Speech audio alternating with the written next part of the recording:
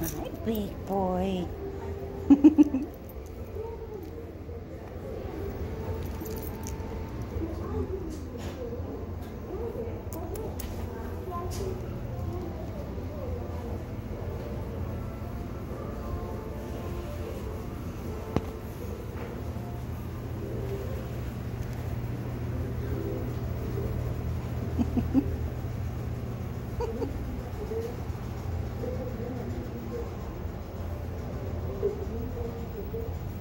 you're such a big boy.